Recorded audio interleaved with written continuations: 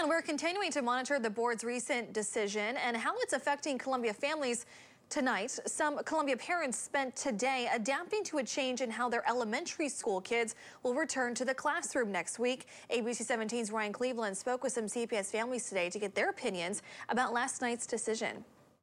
The Columbia Board of Education's decision to send some students back to class has some families feeling happy, but also some families feel let down. I'm happy that they're going back. Um, something is better than nothing.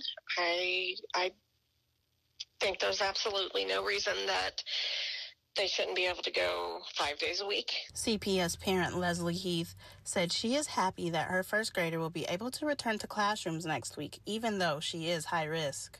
Heath said even though students will not be able to social distance, it doesn't worry her. It doesn't worry me. Um, my daughter is high risk um, because she has cystic fibrosis.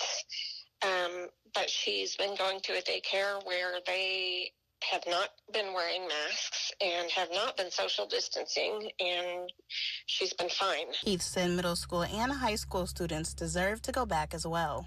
I just feel like they're letting those kids down. But Chastity Sanders has a sister that is a high school student, and she agrees with the board's vote for older students. I think for the rest of the school year, I think it's a lot more safer.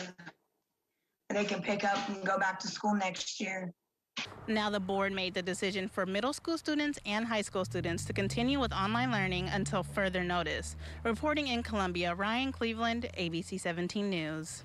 And new case rates have dropped considerably since the start of school, which paved the way for the board's decision yesterday. The University of